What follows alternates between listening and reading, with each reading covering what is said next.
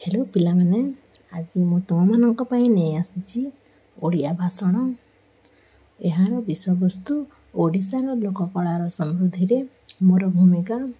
ଏହା ବହୁତ ସର୍ଟରେ ଅଛି। ଏହାକୁ ତୁମକୁ ତିନି ମିନିଟରେ ଦେବାକୁ ପଡ଼ିବ। ତ ଚାଲ ଆମେ ତାକୁ ଆରମ୍ଭ କରିବା। ସମ୍ମାନନୀୟ ସଭାପତି ମହୋଦୟ ବରେଣ୍ୟ ବିଚାରକ ମଣ୍ଡଳୀ ତଥା ପୂଜ୍ୟସ୍ପଦ ଗୁରୁଜୀ ଓ ଗୁରୁମା ବୃନ୍ଦ ଏବଂ ଏଠାରେ ଉପସ୍ଥିତ ଥିବା ମୋର ଛୋଟ ବଡ଼ ଭାଇ ଭଉଣୀ ସହ ମୋର ସହପାଠୀ ସହପାଠିନୀଗଣ।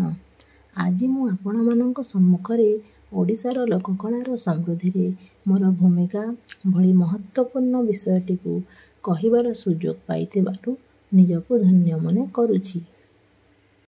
ଓଡ଼ିଶା ଏକ ସାଂସ୍କୃତିକ ସମ୍ପଦର ଜନ୍ମସ୍ଥାନ।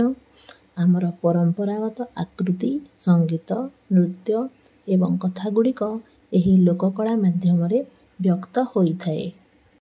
ଓଡ଼ିଶାର ଲୋକକଳା ଆମର ଐତିହ୍ୟ ପରମ୍ପରା ଓ ସଂସ୍କୃତିର ଏକ ମହତ୍ତ୍ୱପୂର୍ଣ୍ଣ ଅଂଶ। ଓଡ଼ିଶାର ଜନଜୀବନର ଏକ ଗଭୀର ଏବଂ ସଂସ୍କୃତିର ଅଂଶ ହେଉଛି ଏହି ଲୋକକଳା। ଓଡ଼ିଶାର ଲୋକକଳାକୁ ସମୃଦ୍ଧ କରିବାରେ ମୋର ପ୍ରଥମ ଭୂମିକା ହେଉଛି ଏହି ଲୋକକଳା ସମ୍ପଦ ବିଷୟରେ ଅଧିକରୁ ଅଧିକ ଜାଣିବି ଓ ଏହା ବିଷୟରେ ଅଧିକ ତଥ୍ୟ ସଂଗ୍ରହ କରିବି। ଏହିପରି ଲୋକକଳାକୁ ଜାଣିବା ଓ ଶିଖିବା ବି ଏକ ଭଲ ପଦକ୍ଷେପ ଅଟେ। ମୁଁ ମୋର ଶିକ୍ଷକଙ୍କ ନିକଟରୁ ଲୋକକଳା ବିଷୟରେ ଅଧିକ ଜାଣିବାକୁ ଚେଷ୍ଟା କରିଛି ଏବଂ ମୋ ସାଙ୍ଗମାନଙ୍କୁ ଏହି ବିଷୟରେ ଆଗ୍ରହୀ କରିଛି। ଏହି ଲୋକକଳାକୁ ବୁଝିବା ପାଇଁ ସ୍ଥାନୀୟ କଳାକାରମାନଙ୍କ ସହ ସାକ୍ଷାତ କରିବା ମଧ୍ୟ ଏକ ଭଲ ଉପାୟ ଅଟେ। ମୁଁ ବାରମ୍ବାର ଆମର ନୃତ୍ୟ ସଙ୍ଗୀତ ଓ ନାଟକଗୁଡ଼ିକୁ ଦେଖି ଏହାକୁ ଅନୁଭବ କରି ଉପଭୋଗ କରିଛି ଏବଂ ଆମ ଗ୍ରାମର ବୟୋଜ୍ୟେଷ୍ଠ ବ୍ୟକ୍ତିଙ୍କଠାରୁ ଲୋକକଳାର ମହାନତା ବିଷୟରେ ବୁଝିଛି। ମୋର ଦ୍ୱିତୀୟ ଭୂମିକା ହେଉଛି ଏହାକୁ ପ୍ରଚାର ପ୍ରସାର କରିବା।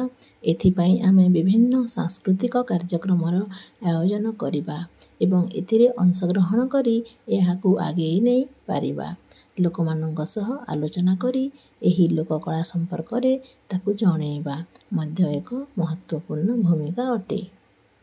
ଯେତେବେଳେ ଆମେ ସମସ୍ତେ ମିଳିମିଶି ଏହାକୁ ପ୍ରଚାର ପ୍ରସାର କରିବାରେ ସାହାଯ୍ୟ କରିବା ଏହା ନିଶ୍ଚିତ ଭାବରେ ଲୋକମାନଙ୍କ ସହ ସମାଜରେ ସ୍ଥାନ ପାଇବ।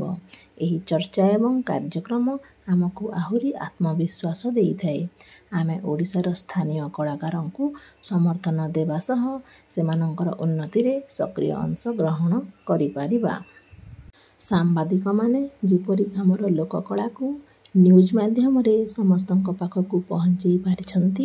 ସେହିପରି ମୁଁ ବି ଏହାକୁ ସମସ୍ତଙ୍କ ପାଖକୁ ପହଞ୍ଚାଇବି ତେଣୁ ମୋର ଏକ ଛୋଟ ପ୍ରୟାସ ଲୋକକଳାର ସମୃଦ୍ଧି ପାଇଁ ସମ୍ବଳ ହୋଇପାରିବ।